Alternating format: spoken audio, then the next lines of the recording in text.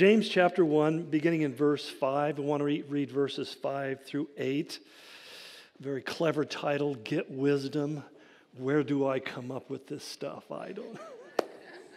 Would you stand with me as we begin by reading this passage together?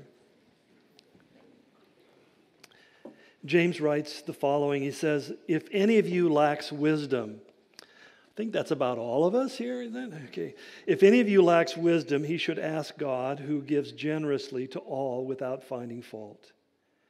And it will be given to him. But when he asks, he must believe and not doubt, because he who doubts is like a wave of the sea blown and tossed by the wind. That man should not think he will receive anything from the Lord. He is a double minded man, unstable in all he does.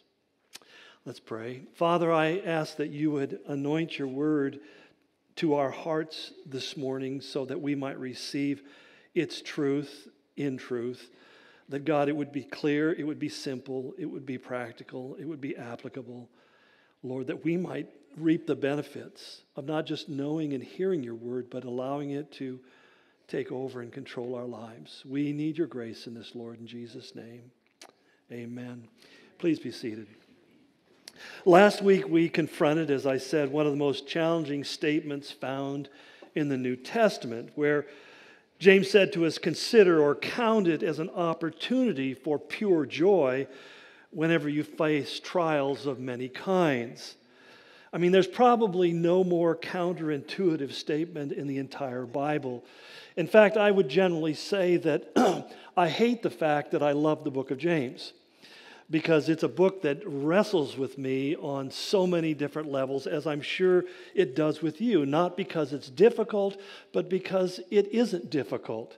It's not something that is uh, hard to understand, it's just overwhelmingly clear. But it does call us on our stuff. It tries to separate verbiage from reality. It's not about what we say, but it's what we really truly know and believe in our hearts and act upon as a consequence. But one of the things when James makes this statement that he assures us is that if we embrace testings and trials, that it will eventually end in this thing called pure joy. And the word pure there is an important uh, adjective because what it does is it qualifies the joy in a way that's important to distinguish. It means it's unadulterated. It's a joy that is a joy in and of itself. It's a joy not dependent upon enjoyment. It's not dependent upon being pleased or experiencing some kind of pleasure. It's a joy that is a settled reality that your life is held in, so that regardless of what is going on around you, your life is like the proverbial eye of the storm. I don't know if you've ever been in a hurricane, I've only been in one. And it's, a, it's kind of a crazy thing. My wife and I actually were on vacation in Mexico, and that seems to be kind of a, the story for us when we go on vacation. Some natural disaster is going to happen. Sometimes my wife says it's just the fact that I'm there. But the point is, here we are enjoying this beautiful resort that my brother got us hooked up with and this storm comes in and water is coming through the light fixtures. And i mean it's just really crazy. And then suddenly it stopped. And so my wife and i said well the storm's passed. We get out and we start walking around and suddenly all these police and security guys are shuttling us back into, the, into our hotel. And before long the storm came back even more ferociously. I mean have you ever seen your life flash before your eyes me neither. But the point was, it was this wild and crazy event. And, I, and suddenly I realized that's what the eye of the storm is like. Things can be raging in your life, and yet somehow you have what Paul called, in speaking to Philippians, the peace that passes or surpasses understanding. That if somebody asks you, why are you at rest right now? And you, you can't give them a good answer because you don't have an answer. All you know is, it is well with my soul, as we talked about last week. And so this is a promise that James makes to us. Now, if James were the only New Testament writer who ever gave us that kind of instruction, we might be able to kind of say it's a one off and discount it and not give it a lot of attention. But if you go through the Bible, you find it's something that's said frequently. I mean, Jesus, in fact, was the one who said in Matthew 5 in the Sermon on the Mount, He said, Blessed are you when people insult you, persecute you, and falsely say all kinds of evil against you because of me. Rejoice and be glad because great is your reward in heaven. Now, let me ask you when's the last time somebody insulted you and you said, Oh, praise God? I mean, if you're like me, you, you didn't do that. You, you went, every fiber of your body went someplace else, you know, like revenge and so forth. But the whole point, Jesus said, there is a dynamic here. There, and what that, that statement is meant to do is to kind of really rattle our cage a little bit so that we would step back and say, maybe there's a d- dynamic, a dimension of God that is available to me, but I'm not experiencing it. That's why when Paul said to the Romans, he said, Be joyful and patient in affliction. I'm patient in affliction as long as it passes quickly. But when it drags on, then we begin to struggle. Or to the Philippians, he said, Rejoice in the Lord always. Again, I say to you, rejoice. And I feel like saying, You didn't have to repeat it. I didn't like it the first time. You don't have to say it twice. Or to the Thessalonians, Be joyful always. Give thanks in all circumstances. And I'm, I got to be honest. Sometimes I read that and just say, God, are you serious? I'm supposed to feel good about this? You know, there's those things that break your heart and even break your spirit. And you're saying, God, I'm supposed to give thanks for this? And it's honest, it's fair to ask the question how am I supposed to do that? Well, Solomon's interesting because he said in Proverbs 4 7, getting wisdom, that's the most important thing you can do. Getting wisdom. You see, I don't usually want wisdom, I want out of the problem. I'll get the wisdom afterwards when it's convenient and comfortable. But I don't want to get wisdom as the first thing. I don't want this powerful insight into what's going on so I can understand it and rejoice in it. I just want it to go away. And then I'll rejoice because my life is going the way I want it to go. But I think we have to step back and really ask the question so, what exactly is this wisdom that I'm supposed to be seeking to get?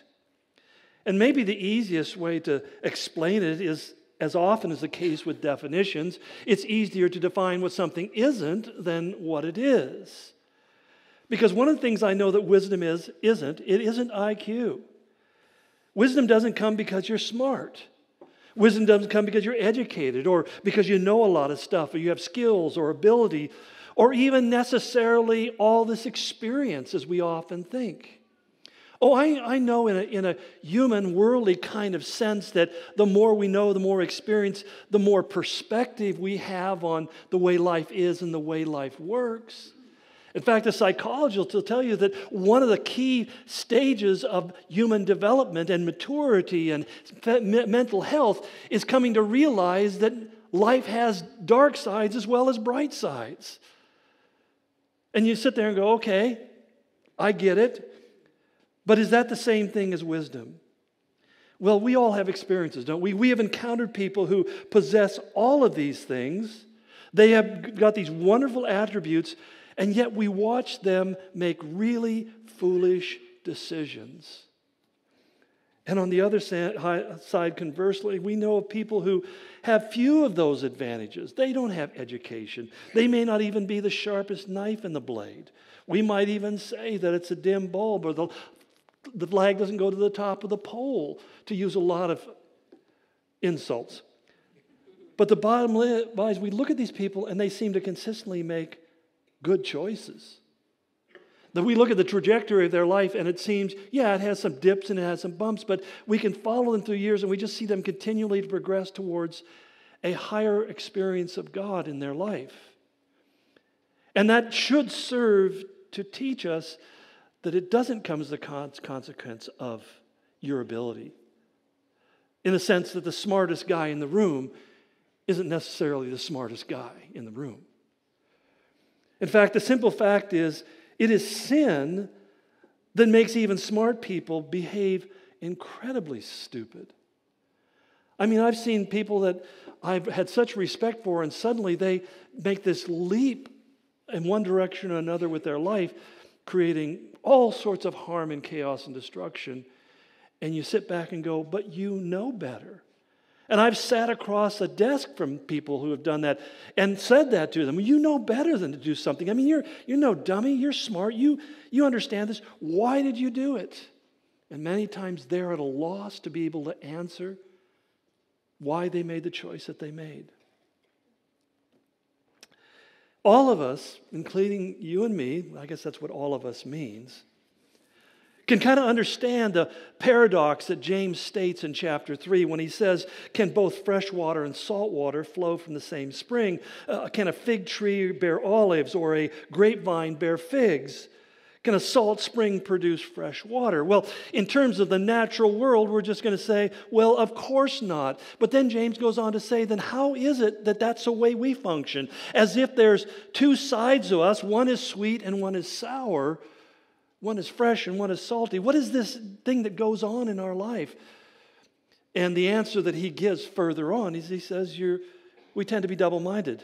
The, the Greek word dipsukos means literally to have two souls. It's almost like there's two souls or identities or beings that are living inside of one body, and they're embattled with each other as to which one is going to be the controlling force in our lives. Well, James' point is that wisdom, again, is about more than just being smart or even knowing better. I mean, let me give an example of a smart guy. Take Charles Darwin. Since I'm talking about evolution and creationism on, on on uh, Wednesday nights. I thought this would be a way to get a cheap shot in here. But here's a guy who was a very smart man who nevertheless based the theory of evolution on a completely mistaken conclusion. You see, peering through a early primitive microscope, he could look at a cell and he drew this conclusion about what a cell was you know, in the human body or anywhere in nature. He says a cell is the, a simple lump of albuminous combination of carbon from which life spontaneously generated. Now, if you don't know what the word phrase spontaneous generated means, it means that suddenly there's nothing and suddenly, boop, and out comes life. You know? Uh, and uh, we know as a law of science that there's never been any evidence of spontaneous generation ever anywhere. Even to this date, we know that that's not the case. But that's not really the first of the mistakes that he made or conclusions he drew. Ironically, in his seminal work, The Origin of Species, he said this If it could be demonstrated that any complex organ existed which could not possibly have been formed by numerous, successive, slight modifications, my theory would, be, would absolutely break down. Well, we know today that there is no evidence to support that view. And when we look at our advanced electron microscopes, I mean, just to give you the idea, the microscope he was using had 160 times magnification. Electron microscope today is 500,000, half a million times magnification. And so, as a result, we can really go into the simple cell and we discover what? That there is no such thing as a simple cell. That even what we might call the least complex cell is, has incomprehensible complexity. It's a mini universe with billions of separate parts operating within a fra- framework of a hundred trillion different cells just like it. So that if you just look at the essence of the organization of your body and its ability to function with all of these different cellular beings, and it works and you live, in fact, it's just kind of amazing. And, and when we kind of throw it into the realm of uh, the laws of probability, it's an impossibility. It's not, it's not even possible that you should be you at this moment in time, that even one cell could be itself in one moment of time. My point is simply this that his theory has completely broken down, and yet, amazingly, other very bright, intelligent, informed men, knowing this to be true, still cling tenaciously to something that cannot be shown to be true, even in its most basic form. And the question comes why? Why would we cling to something that's so untrue? Now, I don't mean to just pick on this group of people. I just think they're easy fruit to grab right now. But the point is, you and I do the same thing. We cling to certain things as being truths, but if we were really being objective, we'd recognize in a moment, well, that's not true. We do it all the time in, in terms of the world around us and the people around us. We, we draw conclusions as if we see things in the fullness of what they are, when in fact we look, as Paul said, through a glass dimly. We've got occluded eyes. We don't see with much clarity at all. We get hints and sensations, but we really don't know as much as we think. And so I, I sat back and thought to myself, what is this about us that is so willing to believe something that's not true. And I think that begins with the fact that man is proud. Because one of the things you ha- to have wisdom, you have to be willing to do is admit that you don't have wisdom. You know, you can never learn anything until you realize you don't know what you need to learn. It reminds me when I was getting my authorization for my motorcycle, I, I uh, man, I'd ridden bikes for years, so I thought, oh, okay, no brainer. I'm flying home from some trip, flipping through the manual real quick to see if they changed any laws because, you know, I just want to bone up a little bit. Read through it quickly, put it away, uh, got off the plane, drove to the DMV, uh, got in line, got set up on a computer, turned it on, and they had questions on there I had never thought of. Where'd that come from? And I flunked the test. Pretty humiliating. Not the first time I've been humiliated by such things, but you know, I never get, still never get used to being humiliated. And so I went home and I studied that book like it was the Bible. And I memorized every part of it because I was not going to have to walk up to that lady again and admit that I'd flunked once again. Wouldn't have stopped me from riding my bike, but nonetheless, and I think that that's part of what we call the growth, the learning process. Is that suddenly I realized that there was a lot that I needed to be aware of when I got on my motorcycle that I didn't appreciate before I had flunked that test. And I think that's the way life is. But when you talk about being wise or being insightful, you have to understand there's two kinds of wisdom that the Bible speaks of. It talks about man's wisdom, and some men are wiser than other men in the things of this world. You know, that a 80 year old is wiser and has a different perspective on what life is all about than somebody who is eight years old. And that's just a virtue of experience. It's a virtue of learning and, and achievement. But there's another kind of wisdom that doesn't come through experience or learning or information, at least as we know it. It's called God's wisdom. You see, man's wisdom begins with the five senses. Our senses have data fed into them that go to our brain. The brain, in turn, takes that data and creates stories. It creates stories. And those stories we begin to use as data or information that we use later on as a reference point for making calculations for future decisions. I mean, it's simple. Fire is hot, won't do that again. Suddenly, I create this story in my mind where I know that I got burnt when I touched that hot thing. Last night, as I was picking up a pot, and I felt one end of the handle and it wasn't too hot, and I touched the other one, and I immediately realized that I just learned a new dynamic. That little part stays hot longer than the big part. Believe me, I will never grab that little part again until I'm sure it's cool. But those are learning experiences, and you create stories like I just created for you. And we extrapolate that out into the issues that we have to make decisions about every single day. And so, the more you go through that process and the more objective you are in, in going through it, you're going to say, in a human sense, the wiser you become, the better you are at negotiating through life. But here's the problem the world that we live in is amazingly dynamic. You can't just analyze it from static data because there's all sorts of things that are coming into the mix. Some that you know, some you have experienced and you foresee, other ones that you have to simply say, I didn't see that one coming. And how many of us have those moments in our life where suddenly things spun out of control? Whether it's in your physical world or it's in your emotional world or your relational world or whatever. Suddenly it's spinning out of control, and you said, I did not foresee this, and you find yourself completely unprepared for it. In fact, you're unprepared because you can't.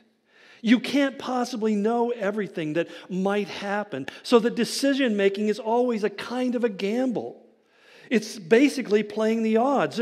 We deal with we try to deal with certainties because we but we know that nothing is ever absolutely certain. So we're given odds. Well, 90% of the time, 60% of the time, in 8 out of 10 cases this happens.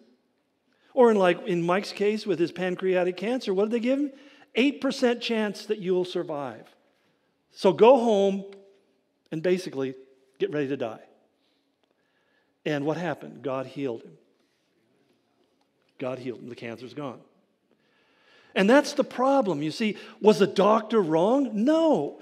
They look at the data and they can draw the conclusion 92% of people who walk in here with this are dead within this many months. In your case, I think it was two or three months. And what happens? God does something that is out of the order, ordinary. And suddenly we realize that there is this other wisdom, this other ability to have insight that I can act upon that doesn't come from the data. It doesn't come from my experiences. It comes from God who governs the universe. Because one of the things you recognize fairly early on in life, hopefully, is that even our good decisions are usually the consequence of bad decisions. We learn from our mistakes. But you see, not only is it hard for us to admit that, but it's hard because we want to feel like we are in control of our lives. When you look at yourself sometimes, just a self analysis, you tend to feel best about yourself when you're pretty convinced that you're in control. I've got this. I've got this.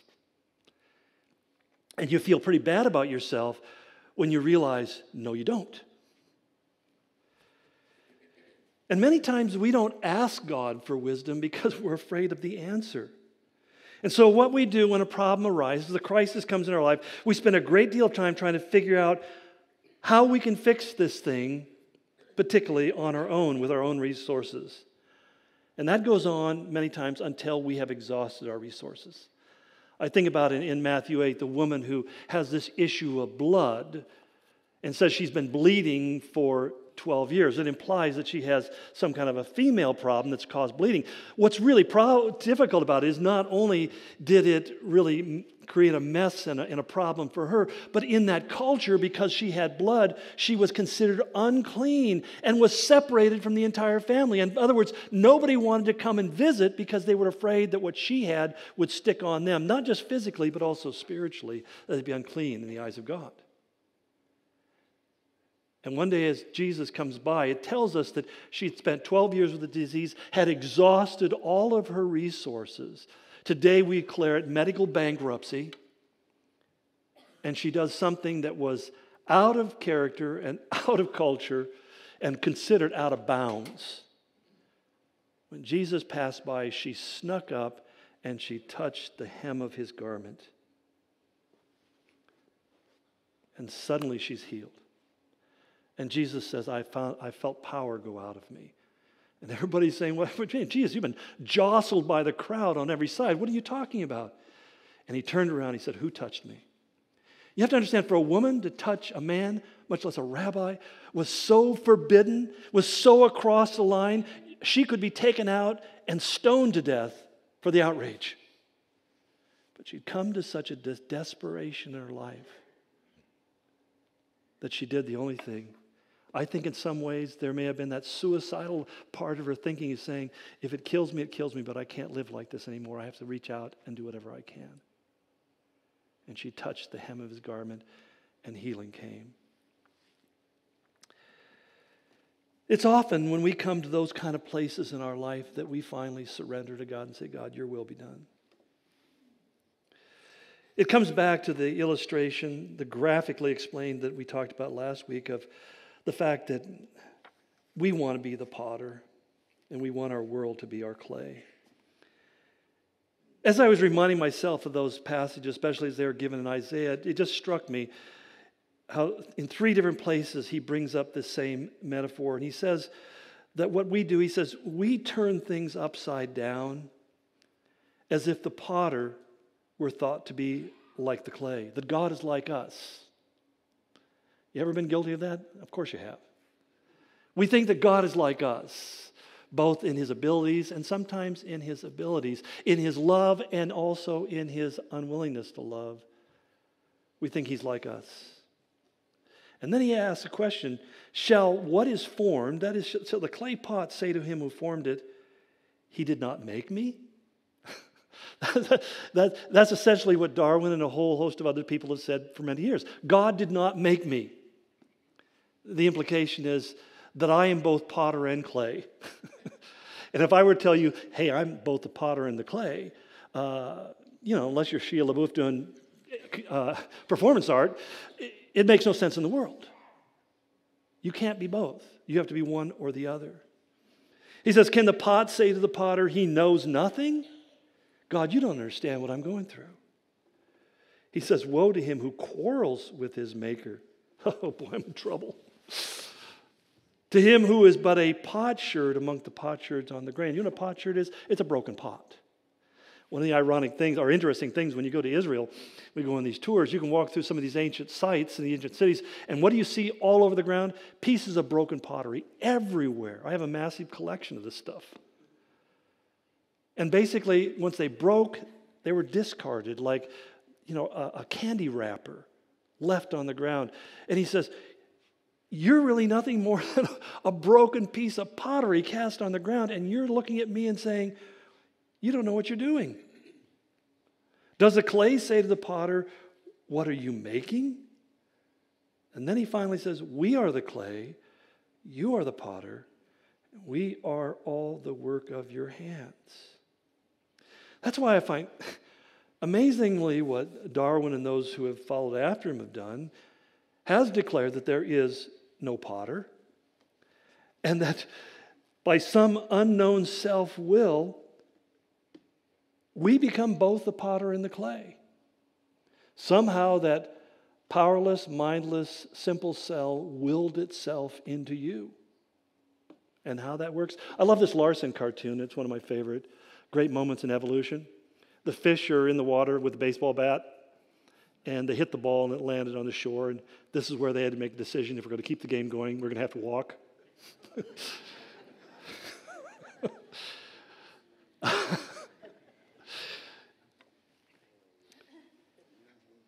well, the crux of this whole dynamic is, is really comes down to this phrase, word that he uses double minded.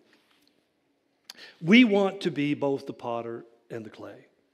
So when James says, when we ask, we must believe, that literally means believe means to trust in him more than we trust in ourselves. That's another way of looking at the word believe. I, I, I trust in him more than I trust in myself. And think about how often that becomes the challenge. Because as I am looking at the lab report, as I am looking at the financial report, and as I am looking at the divorce papers in front of me as I'm looking at whatever the thing is, and I'm saying to myself, how do I address this? Where do you go for help? Do you believe that God has this? Or do you put your trust in yourself and say, I got to figure out a way to fix this? He goes on and says, we must believe and not doubt. And the word doubt there refers to holding back. You see, many of us think if I have doubts that I'm in sin, in other words, I have questions that don't make sense and I'm inquisitive and I want to know the answer. And why does God say that? And why does God say this? And does this mean that? And somehow we think, well, no, I just need to basically just close my mind and become a mind numb robot and do exactly what I'm told to do. That's not what he's talking about here when he talks about doubt. The doubting he's talking about here is simply the unwillingness to trust. He says the consequences we become like a wave of the sea blown and tossed by the wind. And then he adds, the man this man should not think that he will receive anything from the Lord. He is a double-minded man, unstable in all he does. See, such a person like this doubts not because they have unanswered questions. We all have unanswered questions. There are things I read every day in the Bible that I go, I'm not sure I really quite grasp what's being said here. Or I don't know how that's right or fair, or I don't understand. There's nothing wrong with those kind of questions. There's times when I look at my life and I say, God, I don't know why you allowed this to happen, or I don't know why things are going this direction. There's nothing wrong with that. That's not sin. To sit there and say, God, I don't get it, is not sin. The doubting, he says here, is not about unanswered questions. It's about being having divided interest and a divided heart. Or as I said before, the word dipsukos. I have, I have two souls. I haven't committed. The doubting there is an unwillingness to commit. You know, it was interesting. I mean, when I made that decision to ask Christ into my heart, you know what my struggle was?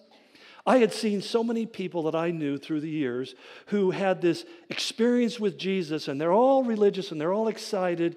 And then six weeks later or less, all that changed and they went right back to being who they used to be. And I kind of kind of disgusted me. Because, you know, one minute they're in my face and telling me I need to go to church and you need to read my Bible and you need to repent. And, and the next thing they're smoking pot with me. And I'm going, what happened to the Jesus? You know, I'm over that. And as a non Christian, I thought, that's so cheesy. I wonder what else you do that with. And so when I was confronted with the gospel, I mean, I'm, I'm having that prayer conversation with God. I didn't just say, Jesus, come into my heart. I said, God, I, I need some evidence. I can't just simply accept this. I don't want to be that guy who gets all excited about Jesus and then next week is back where he started doing the same stuff again. Because I'm at a point in my life where I'm just going to turn off the electricity and put an end to this because if you're not real, I don't want to go out on that limb and have it give out on me. And I remember telling God, I want you to be God, really, totally, completely God in my life. If you are really there, I want you to be all God, and I want to be all in. The doubting mind that James is talking about is this person who's trying to play both sides of the fence, who will ask but never act. And the reason we get like that is because our life goals are in conflict with God's, or at least we suspect they are. We want my will more than we want God's will, or we want God's will to be my will. It reminds me of the story of W.C. Fields, that old comedian from the 20s and 30s who close friends with Douglas Fairbanks, the famous actor. And one day, Fairbanks came over to his house and they were drinking buddies. And he finds W.C. Fields sitting in bed reading the Bible. And he says, Bill, I never realized you were a religious man. And supposedly, Fairbanks said his response was, I'm not. I'm just looking for a loophole. And I think a lot of people are like that. They're just looking for a loophole. Is it any surprising that, as James said, your actions become inconsistent? Because back in Matthew 6, Jesus said to us, No one can serve two masters. Either he will hate the one and love the other, or he'll be devoted to the one and despise the other. It's really a ma- matter of mastership and, and, and what we will allow to master us. What the double minded person misses is that all effective prayer begins with sincerely saying, as Jesus taught us in Matthew 6 to pray, Your will be done on earth as it is in heaven. Or as he said at the end in the garden, Not my will, but yours be done. When we talk about faith, I believe that's the highest point of faith. When you come to those precarious moments in your life, and you're you just everything is on the line as far as you can tell and as you're running out of solutions and running out of bullets, and it doesn't look like you've got an answer, and the ship is sinking, and all the rest of that, and you simply come to that point and say, God, I give up. whatever you want, I will accept. However, you want this to go, I will accept this as being your will. Because at the end of the day, you know what? God's will will be done. And God says, you know, peace comes when you're no longer in dissonance. You know what I mean by that dissonance? It was a week or so ago, we started out a worship song here, and somehow the, the key on the electronic keyboard transposed into a different key, and the keyboardist was playing a different key than the guitarist. And I don't know if you remember that moment. I did because all the hair was standing up on end on the back of my body. It, it's dissonant. It's like, oh my gosh. That's just, and we find ourselves stressed and struggling because of where the dissonance in our life. That the Spirit of God in us is saying, trust me, Surrender to me. Give it over to me. Allow me to have my way. I've got this. And this other part of me says, I can't let go. I must be in control. This has to go re- resolve itself in the way that I think it should. And the peace comes when we suddenly bring our lives into harmony with God. You see, harmony is basically we're, we're on the same page, we're on the same notes, we're, we're saying the same thing that God's saying. We're singing His song. You know, the Bible gives us lots of examples of, of people who go through these kind of things. I mean, we have negative examples like Lot's wife who looked back yearningly at Sodom and she was destroyed as a consequence. We have more positive examples of Peter.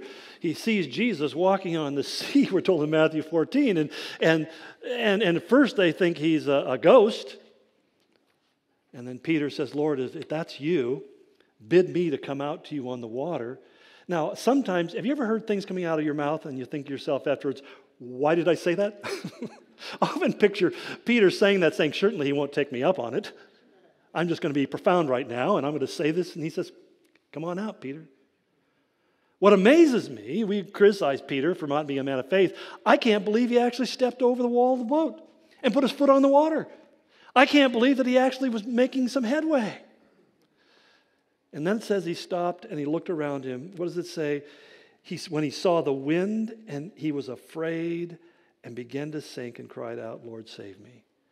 And immediately Jesus reached out his hand and caught him and said, Peter, you have little faith. Why did you doubt? How did he doubt? His mind became divided. He just saw what God was doing, and in the midst of watching what God was doing, he began to say, This is crazy. this can't be. This isn't possible. I'm no longer in control here. I am totally dependent upon whatever's going on here, and I don't even know what that is. This is crazy. This is nuts. And immediately, circumstances began to overwhelm his life. You and I have been through that same journey how many times? We've been through it so many times. Why, why am I doing this? I find that every time somebody makes this major decision, I'm going to commit to following the Lord, that stuff happens. Winds begin to whirl around. In fact, as I was just talking to Jeff before service, he says, You know, as, as, soon as I've gone into that, that part of town, there was some exciting things that God was doing with him, opening doors to reach into some very, very dark places. And he says, What the next thing happened? My computer gets hacked, my identity gets stolen, somebody breaks into our, our locker at the gym, they steal my wallet, $700, our identity, all this stuff happens. And he says, You know, and I've, I've been at that place saying, you know, maybe I need to pull back and, and not, not become so vulnerable. Uh, I love Jeff. He says, enemy's mad, full speed ahead. Just going to continue to engage, continue. But that's what God is looking for. That's what he's saying is there's not this double-mindedness where suddenly I instead of saying I'm all in for God, I kind of say, well, I'm all in for God in the safe areas, but I want to pull back in the areas that aren't safe. But one of the things I find that James wants is I think maybe this is central to everything he's saying to us here in this passage. James is telling us that it's easy to be wise. It's really, really easy. I mean, take for example Solomon. This young man suddenly finds himself as king of the most powerful country in the entire region. I mean, at that point in time, Israel was more powerful than Egypt. It was more powerful than any of the Mesopotamian countries to the north. They were an empire that controlled the entire region. And suddenly, as a young man, he's the guy in charge. And we're told that he became the wisest man in the world at that time. And we ask, how did he get that way? Did he get that way because he went to school, because he studied, because he trained? Actually, he did all those things later on. In fact, he did a lot of those things because he was so wise that he applied that wisdom to every area of his life. But to listen to how wisdom came into his life. In Second Chronicles 1, it says, He prays, Now, O Lord, you have made me king over a people like the dust of the earth in multitude. Give me wisdom and knowledge, for who can judge this great people of yours? And God said to Solomon, Because this was in your heart, you, and you have not asked for riches or wealth or honor or the life of your enemies, nor have you asked for long life, but have asked for wisdom and knowledge for yourself, that you may judge my people over whom I have made you king. Wisdom and knowledge are granted to you, and I will give you riches and wealth and honor, such as none of the kings who were before you, nor shall ever have like afterwards. Historically, we know that's true. There was never another king who had the amassing of wealth that Solomon enjoyed. What he received was a wisdom that is unlike any other kind of wisdom. It's the wisdom James describes in, in chapter 4, verse 17, when he says that it is a wisdom that comes from God. It's not man's wisdom, it's God's wisdom. It's not wisdom that's found in a book or learning or education or a seminar or by some other practice or meditation or Tai Chi or whatever the thing is. It's wisdom that has just simply come from God. He says in 2 Corinthians 1:12, it is a wisdom that comes by grace, not by merit. Paul said, We conducted ourselves not with fleshly wisdom, but by the grace of God. And it was a wisdom, James tells us, that was authentic. It's pure, peaceable, gentle, willing to yield, full of mercy, good fruits, without partiality, without hypocrisy. But maybe most powerfully is it it's a wisdom that is ours simply because we asked for it. When again in our passage he said, If you lack wisdom, ask God who gives it generously. He gives it to all. He does it without finding fault. He says, It will be given to him. So that when I stop in the middle of a situation that is insane, and I say, God, I need wisdom to know how to deal with this right now, He says, I will give it to you in a generous amount I'll give it to anyone who asks for it. I won't criticize you because you don't have it, because that would be unfair, because the wisdom I'm given to you, you can't have unless you get it from me. And I promise every time you ask, I'll give it to you. God, give me wisdom. So that when Jesus said to his disciples, you know, things are going to get rough in the future. You're going to get arrested. You're going to be brought for kings and rulers. You're going to be threatened. Your life's going to be on the line. Don't premeditate what you're going to say because I will give you the words in the moment that you need them. I don't know how not to premeditate my words. I don't know how not to sit there and go, okay, I'll say, if he says this, I'll say that. And if he says this, I'll say that. Because no matter how well you may negotiate that and lay, outline that, I guarantee you they're going to ask you a question that had never occurred to you. I'll never forget, I was working a job, 1971, starting a ministry in Colorado Springs, Colorado. My wife and I moved there with $125 in our pocket, which was uh, mostly for our rent, which was $120. We had $5 left over. And I went out getting, looking for a job, and I found this really great career opportunity working in a auto dismantler. We used to call them junkyard. Uh, they paid top wage, a dollar an hour And uh, in the middle of winter, I'm stripping parts off of cars in the snow. I mean, these kind of opportunities do not come every day. And the fact that they had junkyard dogs that were on, on leashes that were just long, short enough to keep them from ripping my arm off every time I walked by them, you know, was, was a plus. I was almost killed three times on that job because there was no such thing as OSHA. it was a dangerous place. But I remember one of the guys who I worked with was an older guy, and at least compared to me, he was in his 30s, and he was a nice guy, and we got along real well. And, and uh, I started inviting him over to the house for dinner and sharing the gospel with him and so forth. And one day, one of my coworkers found a wallet, and they opened it up, and re- as we were looking at it, realized the name on the wallet with his picture was different than the one he was going by. Hmm, thought, I'm, I was so naive, and I thought, well, okay, wants to change the name. I guess that's okay. You know, I would change my name. I told people I was Franklin Roosevelt, so you know, it was okay. One night we're sitting up late and talking, and I'm sharing Christ with him, and he starts, he starts telling me a story. He's a hitman for the mafia. And he's laying low, he's on the lam. the authorities are looking for him. And I'm just going, stink. I'm up here in this bedroom by myself with you. you know, and he had some other issues that were pretty frightening. And I remember just remember started sharing Christ even more intensely with him. And finally he left. And I remember the next morning we we're driving to deliver a part that we had just ripped off. And he just started lambasting me, ripping into me, just so angry at me. And I thought, I don't know what I did. And finally, he stopped talking, and I didn't know what to say. And so I said the only thing that came to my mind I said, You know, the Bible says the natural man can't receive the things of the Spirit. And he said, That's what makes me so mad. You always have the perfect answer. and I pretended like I knew what I had just said. All I did was say the only thing I could think to say in a very frightening moment, but it was the very thing that God wanted me to say. I don't, it wasn't, I couldn't congratulate myself for that and say, oh, I really handled that well. I was just glad when I got out of the car in one piece.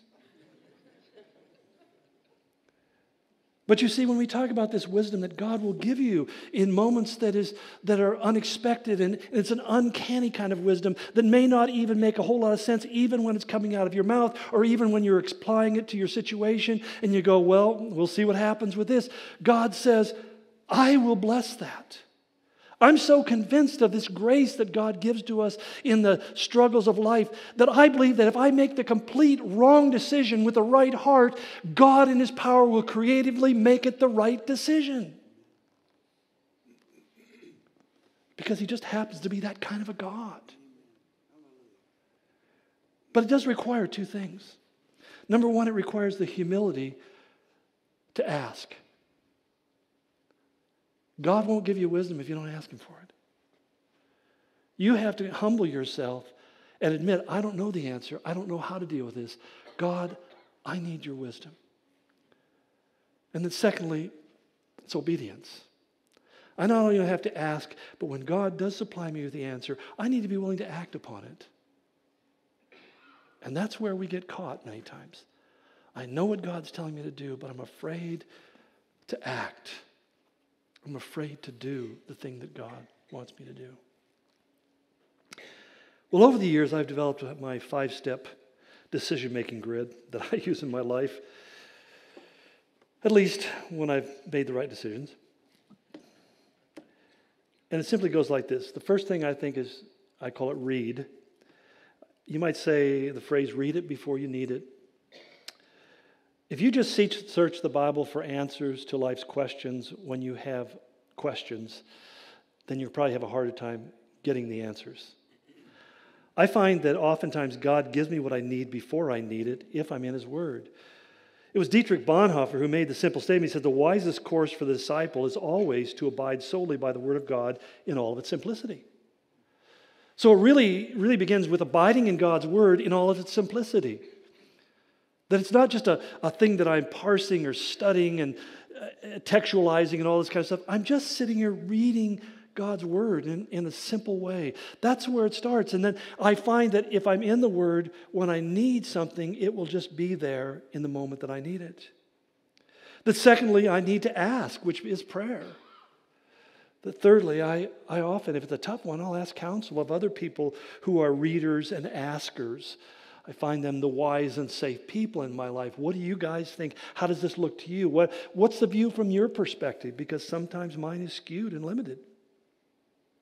And then, fourthly, I wait before I decide because I have found that impatience is usually a sign of willfulness. Impatience is usually a sign of willfulness. I want to make something happen because it's what I want to happen. And sometimes it, here, here's the thing is God is never late. God is, is not depending upon how fast you can get it done. He says, wait, rest in me. Give God time to work in ways that you don't know. We often cast problems in extremes, and many times God's solutions lie someplace in the middle that he begins to change dynamics and situations. So we're looking at a problem saying, I don't know how to resolve the problem because you're in an either or dynamic when God says, just pray and ask and wait upon me, and I will just move things to where they need to be. But when God does finally speak to you, that's where the fourth thing is I need to act, I need to obey. Because my definition of wisdom is insightful action rightly executed. It's insight, it's action being executed rightly or executed in a way that is in agreement with what God's word says. And when that moment comes, you have to be willing to pull the trigger. You have to be willing to say, God, I'm going to step out in faith. And we talk a lot about stepping out in faith. We use the illustration of Peter, and even though he gets rebuked for being of little faith, which is, I think, another uh, metaphor for being double minded, but at the same time, he took the first step. And at the end of the day, when they're writing the book and they're telling the stories around the campfire, the other guys might laugh at Peter for sinking, but the point is, but you guys didn't even get out of the boat. You didn't even take a chance. And I don't think Peter would have made that mistake twice because he learned by stepping out in faith that God could be trusted because when he cried out and said, Lord, save me, it says immediately the Lord lifted him up. Are you giving God the opportunity for immediacy in your life? He may do it. He may just give you the grace to live in the eye of the storm while it swirls around you. But the peace comes because you've stopped trying to be the weatherman. You, you're, stopped, you're no longer Al Gore. You're not trying to, you know, cl- control the climate. How's that working? You're just simply saying, God, it's, it's beyond me. I'm just going to stay right here in the eye where you are, where it's peaceful. Or you may find God just it's almost like I was just waiting for you to ask. I was just waiting for you to ask. I've experienced both in my life. I've experienced the, the, perseverance that we talked about last week, where God just gives you the ability to hang on and to hang on and to hope against all hope. And I've had the other times where I simply turned to God and said, God, would you do this? And immediately it comes. Don't ask me why it works that way. I have no idea. Another thing that I asked, said, God, give me wisdom. And he's chosen not to do that. the best answer he ever gave me is, My ways are not your ways. Oh, okay. Help me remember that.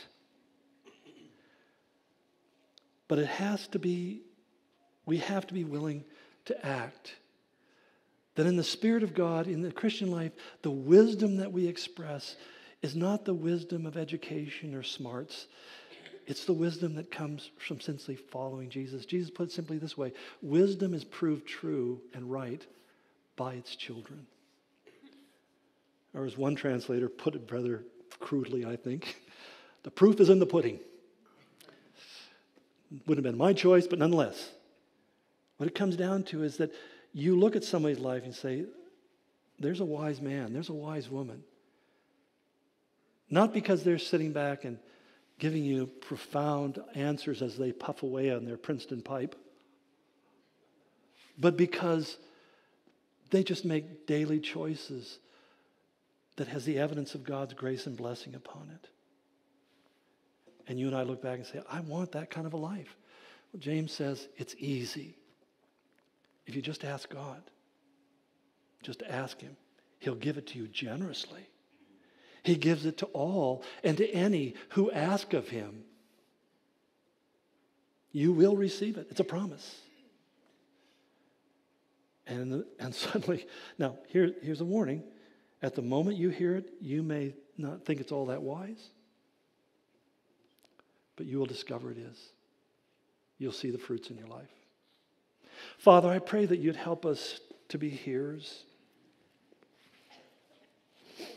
I pray this for myself as well as my brothers and sisters here. That sometimes, Lord, I fear that I am, am terribly hard of hearing.